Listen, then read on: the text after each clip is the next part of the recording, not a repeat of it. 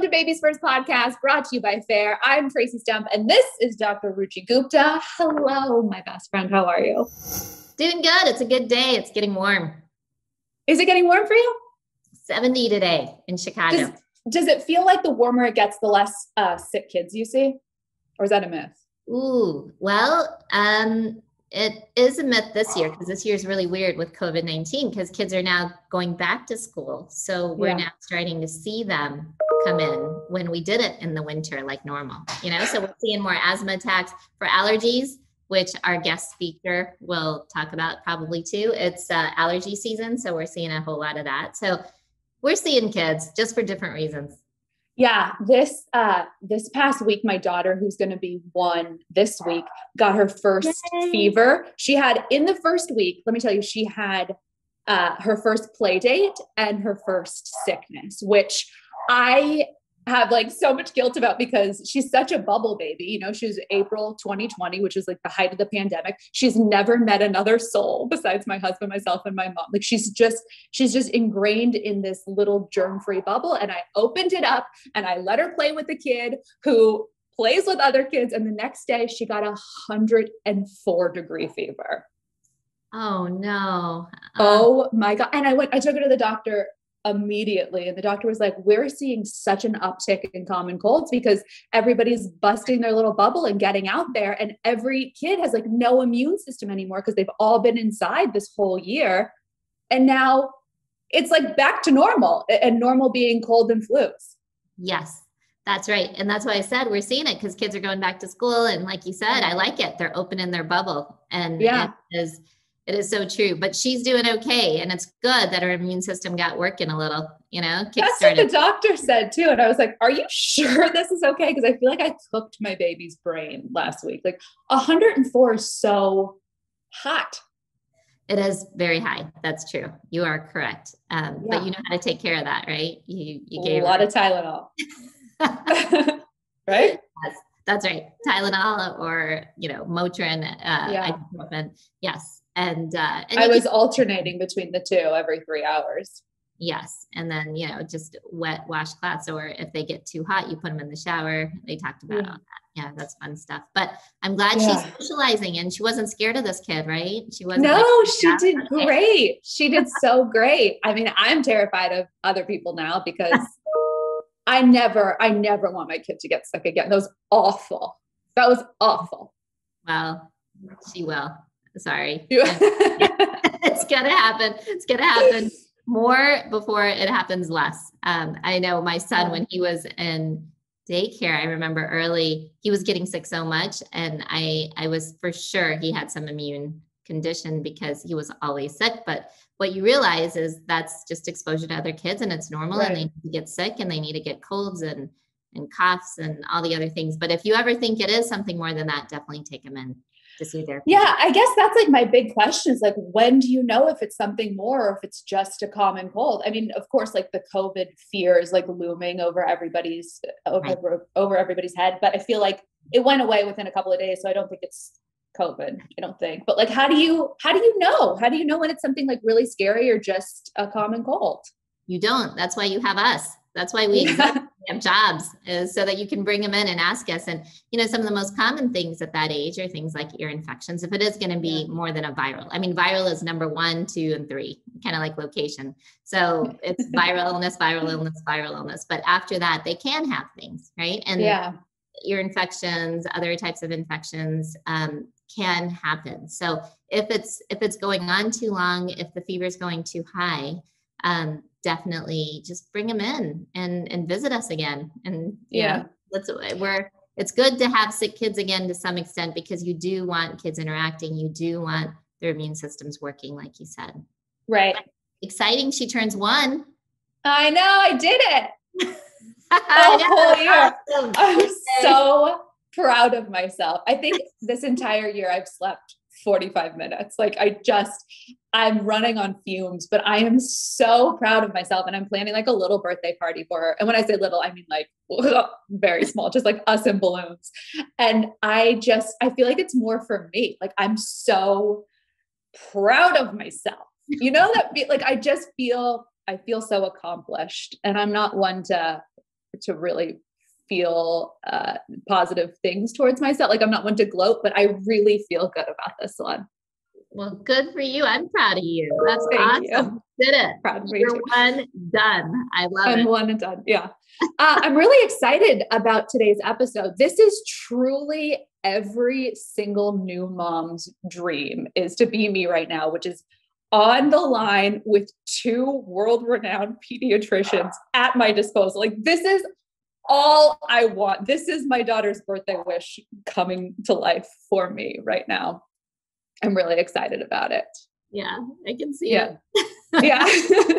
it's just like in what other situations do you get to just like sit and chat with two doctors about health. I love I love asking questions about health. I'm so I err I err on the side of insane when it comes to my health and my daughter's health. Do you feel that way? Are you like that or no? Because you know all the answers.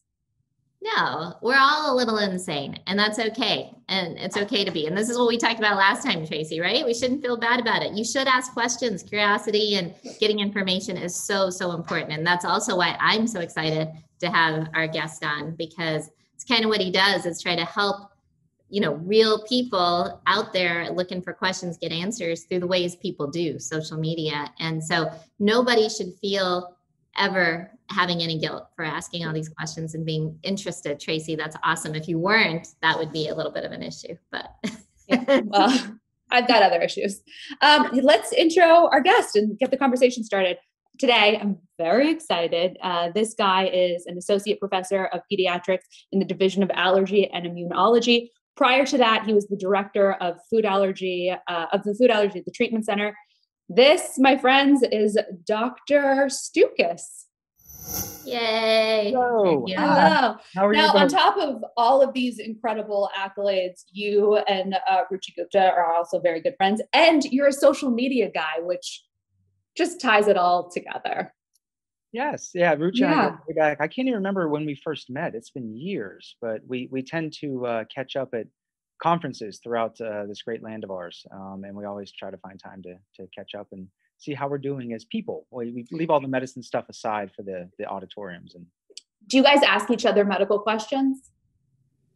How does that work between doctors? I mean, I had a rash once, but I didn't. yeah.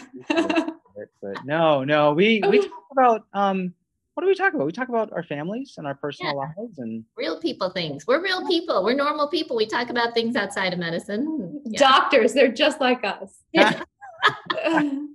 yeah, but Dave's one of my favorite favorite people and favorite allergists um, because he he's kind of like the spokesperson for allergy for us oh. because he is probably the most connected allergist to real people. And i think that's what's so exciting is he takes on that role which he's tried to teach me and i am so so bad at but i'll keep i'll keep listening and trying to learn but wait you're you're bad at you're bad at what? Bad at a lot of things tracy but um but the Name one five oh i can give you hundreds but we don't have that kind of time. Um but social media like he oh. he does such a great job uh, conveying important information to the people who need to hear it you know through the way they hear it you know through the way they're they're looking and listening. And i think that's just so so critical in today's day and age. Um, so yeah very very happy to have you with us dave oh, yeah this is very exciting thank you so much for coming on absolutely yeah what should we talk about uh you know my kid let's just talk about my kid oh by the um, way how did while, yeah. while you were, I, w- I was listening in the background, and congratulations on um, it's your daughter, correct? Lois. Yeah. Come, oh, that's wonderful. Uh, while you were talking, I Googled um, the symptoms that you described, and I hate to break it to you, she's normal. Okay. Good joke. Number one. Number two, I I know. I also Google the, the symptoms um, on the half hour, but I also it just like it could be normal or it could be death. Like you don't know. That's what I have such a problem with the internet. I have such a problem looking up symptoms on the internet. I have such a problem turning to social media for health reasons because of this because there's so many different options and it feels like everybody has a megaphone right now and everybody's just spewing their opinion in such an authoritative voice that it makes it sound like fact that i i don't turn to the internet for help I think that's wise. I think that the internet has a lot to offer, uh, both good and bad. But I like to go back to, you know, why was how was social media created? You guys remember, like the, the movie, yeah. network, and Facebook. Yes. Zuckerberg, yeah. and it was a, it was an online rating system, right? Like a hot or not. Yeah, but that's you had to have a college education to get a Facebook. Like it has taken a turn for the worst. Oh, it's it's off its rails. It is. Yeah. It social media, the way it was created, it wasn't designed for what, what how it's being used these days. Or as you mentioned, Tracy, everybody out there, um, regardless of whether you have expertise, knowledge, or actual perspective that matters, everybody has an opinion. And social media artificially equates all of those opinions together. Yeah. And it's natural for us to equate number of followers with expertise. Oh, that celebrity has 2 million followers and they're posting information about health. Therefore, they must know what they're talking about. Right. That's not the case at all. And, you know, would anybody out there just driving along the highway, you have a question about your own health, your child's health, would you pull over to the side of the road and flag down the first 100 cars that drove past you and ask their opinion for your own personal health? That's what happens when you go online asking for information. You have no idea who's on the other end. And people just, you know, they tend to trust those that uh, earn their trust, whether it's it's warranted or not. It's a real problem.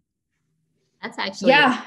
cool. That's a, thinking about it. Yeah. Yeah. I found um, I found social media lately as a new mom and as a new mom in a global health pandemic with a new vaccine on the market. I found social media to be incredibly uh, anxiety inducing the past year. I found it to be really, really hard to to like kind of hone in on one voice online and listen to that. So what have you done, Tracy? What do you what do you like? Have you been have you shut it off or or do you still try? Um, I still look because I think a part of me loves just that feeling of like constant anxiety. But I've really had to like I've had to tone it back, especially especially with my kid because I have to co- go into every situation level headed. Like I can't go in there with the energy of these people who you don't you don't know their credits like you don't know if they're a doctor or not a doctor and you know reading all of their information and then implementing that into your life i think it can be really detrimental and that's why i think it's very important to have people like you out in the world who are putting forth information that's true. It's backed by a credible source because you went to school for this. Like you know what you're talking about. And i think it's really important for people especially new moms to to hone in on one voice on the internet and listen to that you know there's there's various perspectives um, and i agree with you i think that the source matters and more yeah. than anything i'm not you know social media is never going away the internet's never going to go away that it is I what know. it is but mm-hmm. we uh, there's no reason why we can't learn critical thinking skills for all of us. I think mm. that's really important for no matter what you're doing. You know, Ruchi and I, when we re- when we read a research paper, we have learned the critical thinking skills to go through and look at okay what was the methodology what was their inclusion criteria exclusion criteria how do they actually look at it what do they find in regards to their data? Uh, mm-hmm. were their data interpreted properly? Uh, what are the limitations to their data? How does this actually apply to the real world and patients you know you know and out in the scheme of things? And then more importantly how does this one study fit in with the uh, you know the total body of evidence that's out there? Does it actually move the needle or does it not? Uh, can we disregard it? But you know it's taken us years to get to that point where we can do that. Um, but if you don't have those critical thinking skills you don't have that skill set to do it and you go online looking for information it's very easy to sort of uh, go off information and disinformation out there unfortunately and snake oil has been sold for hundreds of years. Mm. Uh, it's it's not going to go away, and it's just taken on a different shape and form online. And unfortunately, they're looking for people that are living with chronic health conditions that have no known cause, no known cure, and they're preying on you. Yeah, yeah, and it becomes a feedback loop. I've found where it's just like uh, people make a meme and then that meme gets passed around and then all of a sudden that meme is that person's health advice and that health advice goes to the next blog and it's just this it's just this echo chamber of insanity if you don't have the right source at the top. And I found that very few times have I found the right source at the top. Even like, I hate to say it, even WebMD makes me a little bit crazy. Like, I go on there and I put in like my symptoms and stuff. And then next thing you know, I'm dead. Like, I'm buying a coffin. Like, I just, it's, it's insanity. It's insanity. So I think I love, I love that both of you have a presence on the internet. And I love that you guys are kind of doing the the good that more people should be doing there needs to be more of you. That's that's my problem with social media and medicine. There i'm i'm so i feel so passionate about it because there's so much mis- misinformation and you could get led down the wrong trail so quickly.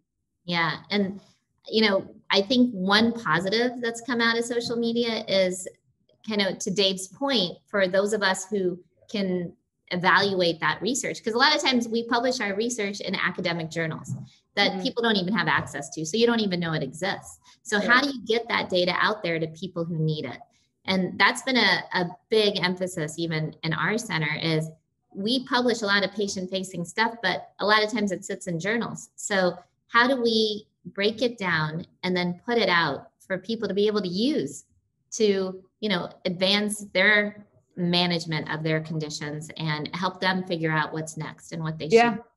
And social media is a way to get valid information also out to people, but you have to be able to to figure out what's right and what's wrong and what's, you know, studied and what's snake oil. And Dave, I was wondering from your point of view, like how do people do that? How do you navigate? Well, uh, I think it starts with uh, vetting your resources. So we always want to start with good, credible uh, professional organizations or those who actually have uh, the right credentialing to offer their their opinion, uh, and then see if you can verify it. So don't just stop at the first thing you read. Verify it with another independent source. And if you mm-hmm. can't do it, then immediately question, you know, what you're reading. Always be aware of conflicts of interest. So what I mean by that is if the person who is giving you health information is standing to profit by selling you services, their book, or um, any of their supplements or products because of the information they gave you, that's a huge red flag because uh, they're really just they're trying to sell it to you. That's marketing. That's not information. Um, we need to be aware of our own echo chambers. We tend to congregate with like-minded individuals because it reinforces our previously held beliefs. It's really comfortable, you know. I want to cuddle up with a nice cozy blanket. I don't want to sit on a bed of nails all day. Um, so we, but if we if we always listen to those same voices, it gives us an altered uh, perception of reality. Um, and you know, you know, with the food allergy community, especially online, this is one thing I talk to our colleagues about when I give talks on this their perception of reality is often very different than what we see in the actual world and the patients that we see. I see patients from all backgrounds. There's a bell shaped curve to everything that we see in, in medicine. Most people fall in the middle, but there are outliers on both ends. If you just have the outliers talking about their experience, it skews the conversation, making people think that that's the reality that most people are living with. Think about a Yelp review. You're going to go find a new restaurant. Who takes the time to go and put a, a review about that restaurant? People who have a, had a wonderful experience or people who had an awful experience. The people in the middle aren't going to take the time to do that, or or people getting paid to put their comments out there. So it's you know there's a lot. It's very complicated. There's a lot to it, but vet your resources. It's okay to take time to digest the information and see if you can trust it before you act on it. Yeah, that's a big one for me. Is like taking a beat and being like, is this real?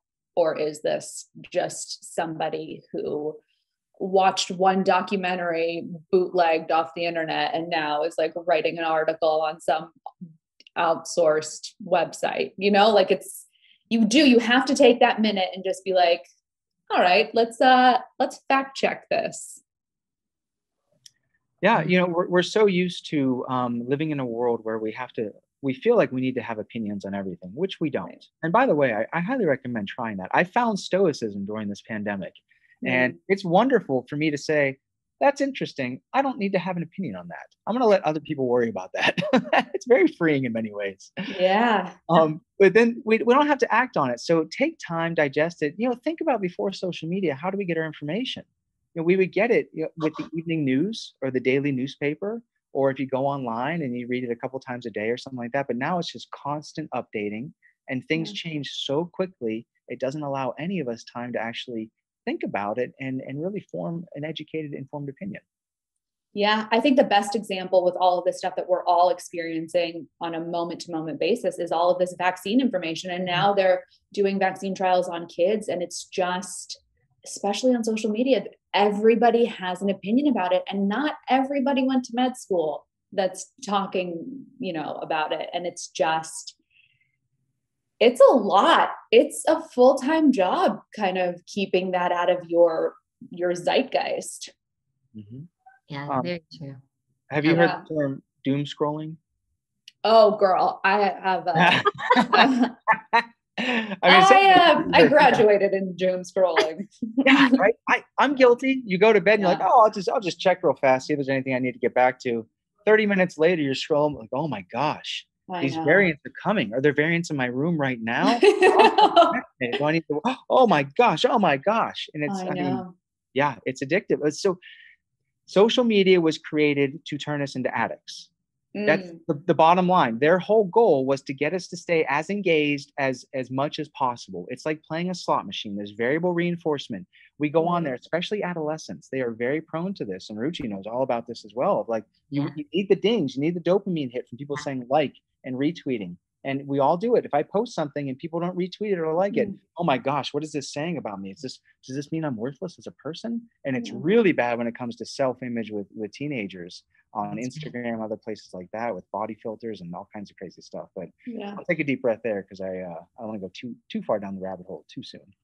yeah. This well, is it's like the the pluses and minuses right? People are able to get information faster right? That has also been incredibly beneficial mm-hmm. right? like videos get posted and people find out and people you know go to action for different causes you know in such a such a faster way. You see things happening all around the world so much quicker and easier. So that aspect but then going into this aspect of then how do you now control it it's almost like eh, we always talk about almost with everything it's a pendulum right you you have nothing then you like go all the way to the other side and you have everything and how do we get it back to the middle where we can live normal lives get the advantages of being connected, but not, you know, all the traps and addictions. And I'm right there with you, Dave. I mean, I have two two teens at home and, and it is you got to put those rules in place otherwise the phone is just in your hand nonstop all the time and it's very challenging. And that's why i can't do social media because i guess i do the doom thing that you were talking about.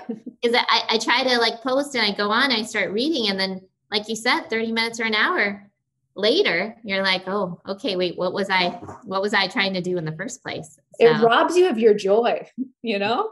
It really does. It really it's a joy suck but then there's people like you dave who are out there doing the lord's work and putting out information that is valid and real and it's it's moving the needle forward in a very positive direction and it makes social media and medicine bright and like it feels like there's there's a positive future in it when people like you are at the helm?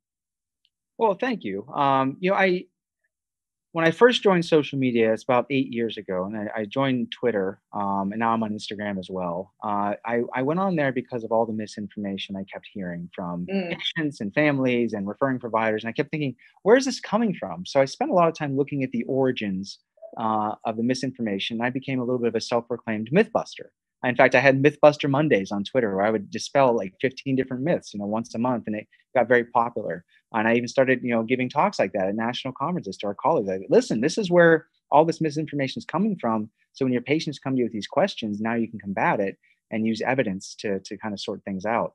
What and was I the realized, biggest myth that you busted? Like, what was the biggest myth that people were were coming to you with? Oh my gosh, you you name it. So you know, uh, here's the biggest one that everybody always it's really popular. There is no such thing as a hypoallergenic dog. That's the myth, or that's the truth. That's the truth. Sorry. Oh, really? Yeah. So it's a marketer's dream.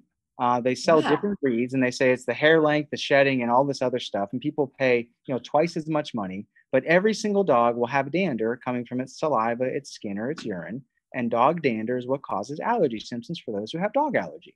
Interesting. Yeah, that's interesting. Yeah. I've had allergists tell me you need to get a hypoallergenic dog.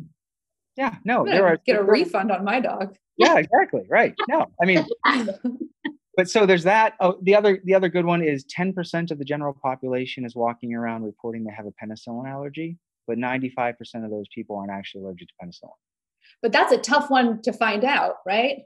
Well, if you get the word out there, more people, and we're, we're doing this on multiple levels. So we're educating primary care physicians about how to address this. And uh, there are, you know, well established penicillin allergy delabeling programs. We have to educate the general public as well to even ask about it. Uh, so we're getting there, but it, it takes a long, long time uh, to dispel yeah. myths that we all hold to be true. So do people just think that they're allergic to penicillin? So they're just like, yes, I'm allergic to this because it's scary if you say no and then you are.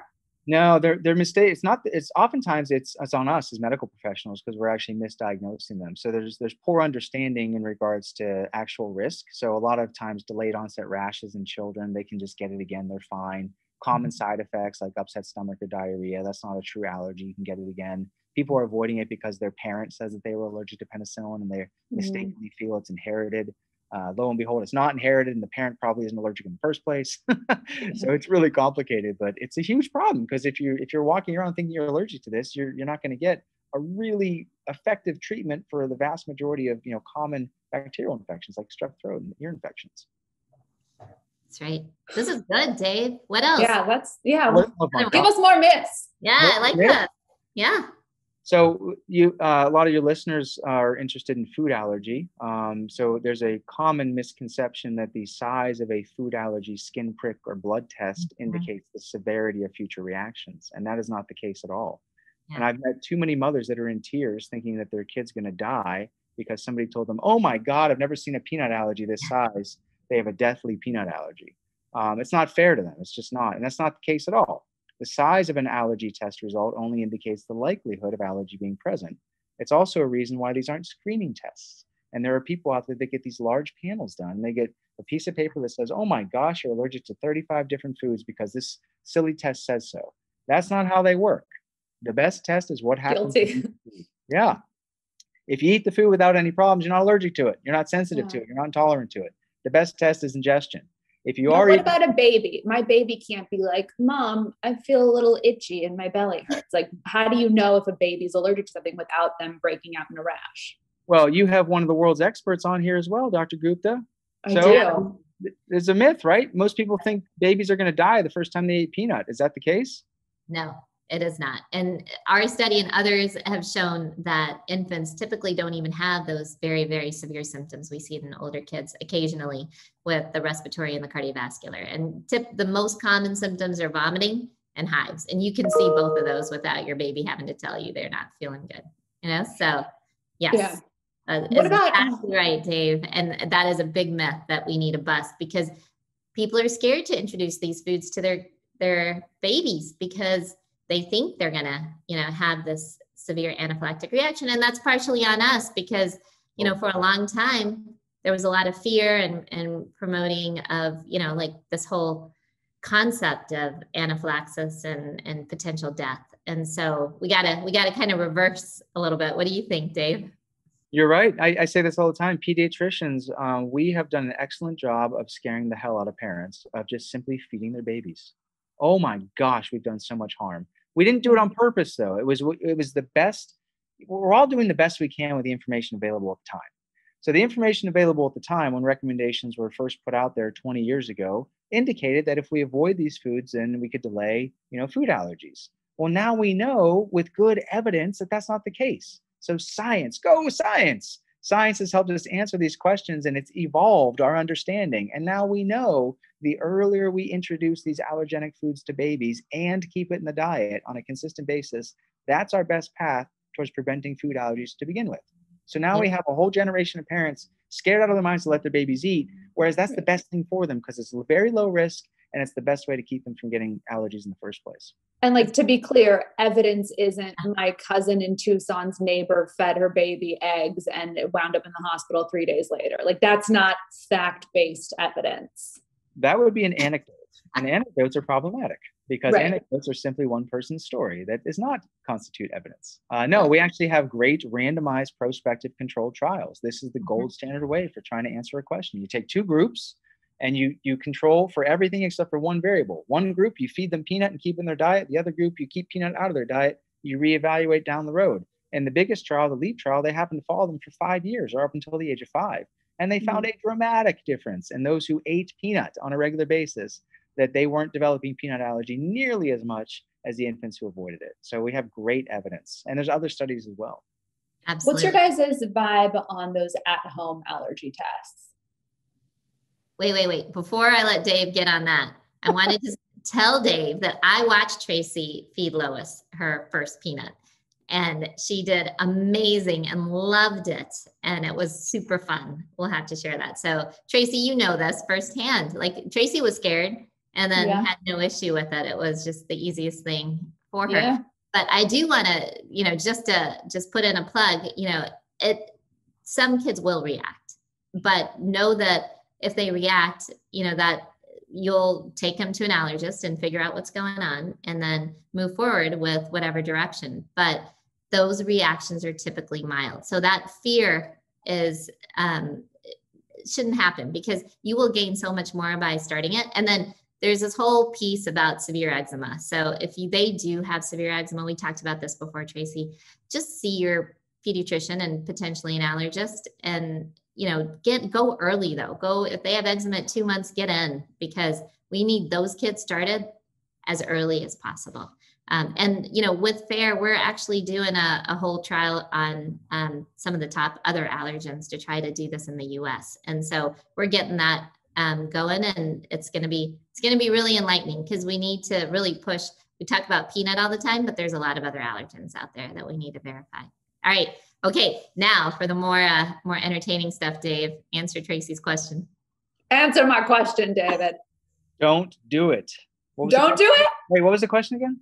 Um, it was the at-home at-home allergy test. Are you right, right, right. pro against? What's the vibe? Uh, against. So aller these. If, okay, there's IgE antibody, immunoglobulin, mm-hmm. which is involved in traditional food allergy responses. If you, I just said mm-hmm, like I knew. Oh yeah, yeah if you have IgE uh, preformed to a food uh, protein, every time you eat that food within minutes, it's not going to be the next day or days later. Within minutes, usually, you're going to have uh, rapid onset, reproducible symptoms every time you eat the food. We're talking like hives, itching, swelling, vomiting, uh, anaphylaxis type symptoms.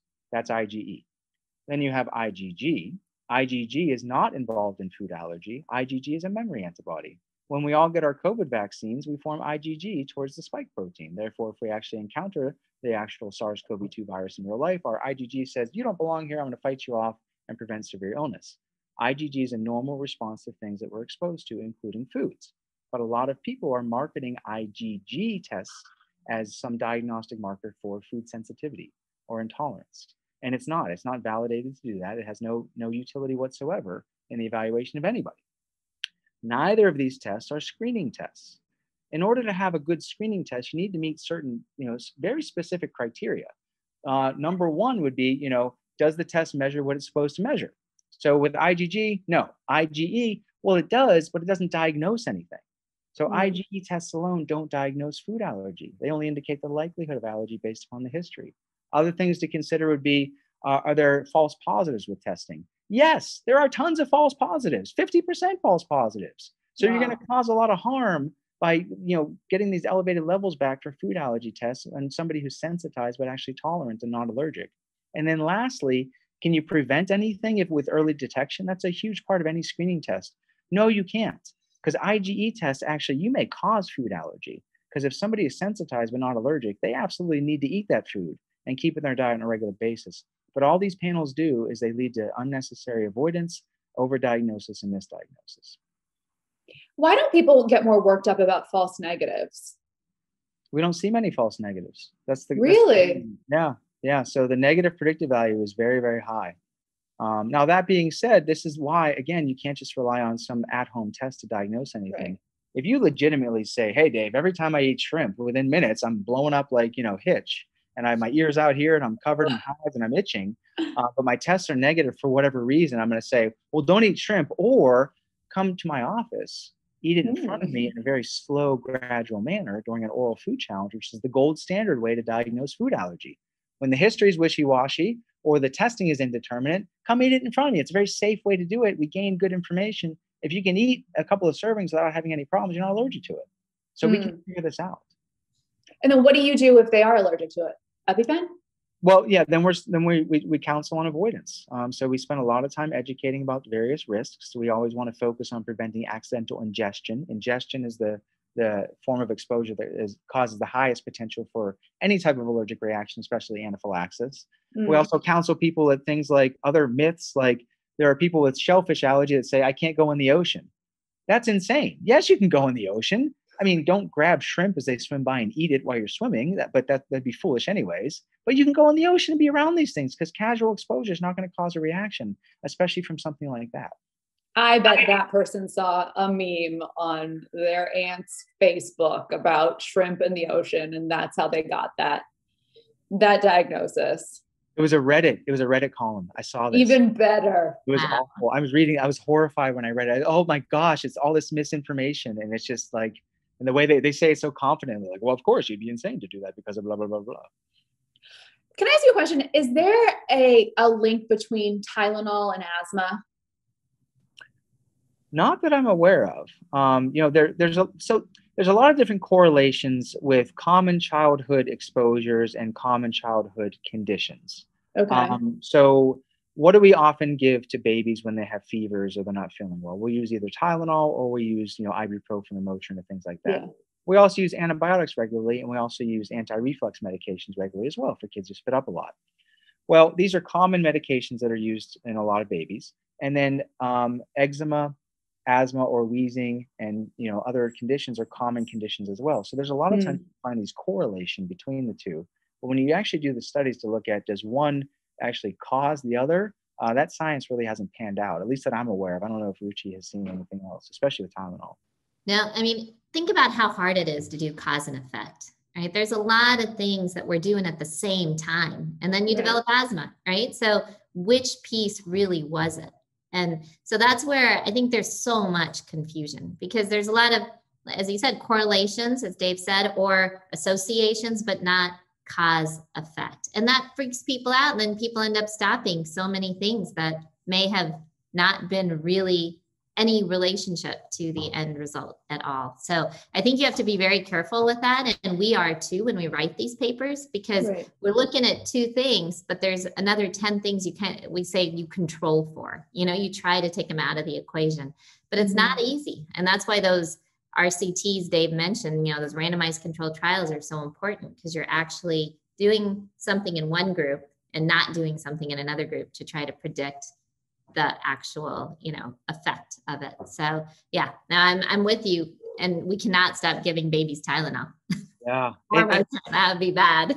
Absolutely. Yeah. and this leads also to um, why self-diagnosis is really filled with a lot of um, incorrect diagnosis. And the reason why is because um, it's really hard to control for other factors. And as human beings, it's natural for us to correlate. You know, we see this all the time in people who feel that they have a food intolerance or sensitivity. Say it must be because of gluten. Uh, well, why is that? Well, because I read online that you know gluten sensitivity can cause whatever fatigue, muscle weakness, poor sleep, who knows what. I haven't been feeling that well, so I'm going to take gluten out of my diet. And then you know, four to six weeks later, they say, okay, I've been I've been gluten free and I've been feeling great. Oh, that's great. What else have you done? Well, I started exercising more. I cut back on my alcohol. I stopped smoking, and I actually am sleeping better. And I and I've been seeing you know a therapist to talk about all my anxiety. But it must be the gluten. Well, how do you know it's the gluten? Well, because I stopped eating gluten and I felt better but you also did these six other things and how do you know it wasn't one of them so you know that's one example but we see that all the time yeah we all want to be detectives we're all doing the homeland board in our offices trying to connect all the dots trying to figure it out yeah and there's i mean the placebo effect is as good as many remedies we know mm-hmm. that right so if you do something and your mind thinks you're going to have an effect a lot of times that effect happens and so you got to keep that really clear in your mind that the placebo effect is very powerful. Uh, positive and negative. If you think you're going to have a bad reaction, chances are you're going to have a bad reaction. oh, you guys, this is so much information. What, like, from both of you, what are your take home take home tips to just kind of like distill it down in, in our minds and and kind of like help us figure out what we're doing? Well, you know, I would say since we've been talking about social media, just um, be aware of the common pitfalls on online. Uh, be yeah. aware that there's a lot of misinformation and disinformation. Uh, it's helpful to understand our own cognitive biases. confirmation mm-hmm. bias is very strong. We all tend to uh, believe things that sort of corroborate our previously held beliefs and refute things that don't really agree with what we hold to be true. Uh, so there's a there's a lot to unpack here. So proceed with caution when when looking online. I think there's a lot of benefits. Social media, especially in the food allergy community, you can find people that are you know understand what you're going through. A lot of times the same anxieties, and uh, they may have very good practical tips about you're sending your child to school for the first time, or you're, you're traveling with food allergies, or you know certain uh, restaurants or foods that may be safe compared to others. So there's a lot of good out there, but there's also a lot of bad. But ultimately, um, I would really hope that people would trust their personal doctor as well. And I love having these conversations. I love when families come to me and they say, Dave, I read this online. What do you think? And we talk about it. Mm. I've had calls all, you know, every, they're safe and effective, and it's the way we're going to get out of the pandemic. Okay. I can go into detail if you'd like. I, I would honestly, that's all I want to talk about right now.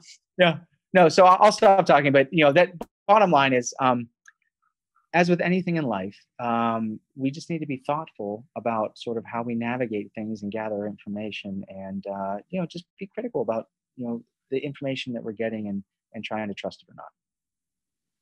Yeah, I'll second everything Dave said because he is the expert on that. But um, adding just a little bit, just when you get information, don't stop, you know, go look around. But like Dave said earlier, like validate it with other information. And then if it's around health, I, I think support groups are the best thing in the world.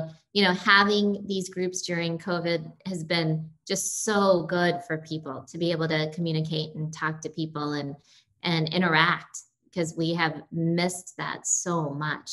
So it's not that it's all bad and get advice about stuff. And if it's not significant to your health, then do it. You know, exercise is good, eating healthy is good, getting sleep is good. There's there's a lot of good stuff. But um and and techniques to do that are also good to try. But when it comes to something that may impact your health, like, oh, I had a reaction, I'm going to avoid this food, talk to your doctor, talk to your allergist. Because, you know, in our study, I keep saying it over and over one in five adults are avoiding a food because they think they have a food allergy, mm. but only one in 20 adults are seeing their doctor.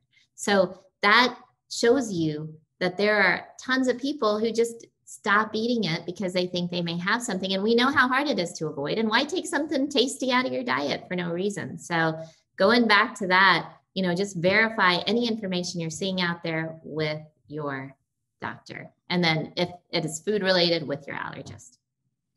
And our what's our slogan? You know, do your best. We're all doing our best. Keep yeah. best. Forget do about your best. Let go of the rest. uh, Dave, where can we follow you on the interwebs? Uh, my handle is at Allergy Kids Doc on both Twitter and Instagram. Uh, so I'd love it if uh, people would check out my accounts and you know uh, I, I, interact with folks all the time. I can never give individual medical advice, and I feel awful, but it's probably every other day somebody sends me a message and they, they give me like their child's blood test results or they, they give me all these personal details. And every single time it, it's heartbreaking, but I say, you know, unfortunately, I can't give you individual medical advice. I strongly encourage you to talk to your personal doctor because there's yeah. a lot of nuances and details that will really impact your diagnosis and care. Uh, in case you can't tell, I've practiced that quite a bit, but yeah, um, it's just copy yeah. and paste yeah and oh and if i could you know the wonderful people listening to this also don't send me pictures of your rashes. Um i don't like opening my direct messages to see a giant rash. Oh. Joking but i'm not joking like it's not good i don't want that. Don't oh need- i do not put it past the internet to send you pictures of just about anything. They are wow. they're an interesting bunch the people on the dark web.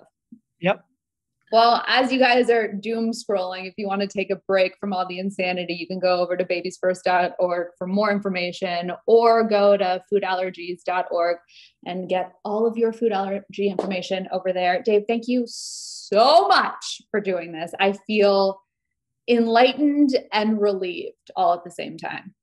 Oh, can I add to that then? Because you, before you're so proud of yourself to getting to Lois's first year of life. I did. Well, we got three more days. So yeah, what, but you're not done yet. Oh, there's you more. You have to keep going. Yeah. Excuse me. Yeah, it, yeah, yeah. It's like yeah, there's there's there's, after, there's stuff after that. No, no, no. I signed up for one year. It was just a one year program, and then I was done. You, it, will be okay. Thanks for your time. Bye. high five, Dave. We got to do our high fives. You are awesome. It's- yeah, Dave. Thank you so much. I'm going to go uh, stalk you right now, and I've got a question about this thing on my foot. So take lots of pictures of it. I want to know what it smells and tastes like too. Oh, I'll let you know exactly what it tastes like. All right, guys. Thank you guys so much for listening. Ruchi, thank you. Dave, thank you. Tracy, thank you. Uh, we'll see you guys next time. Awesome. Bye. So fun. Bye.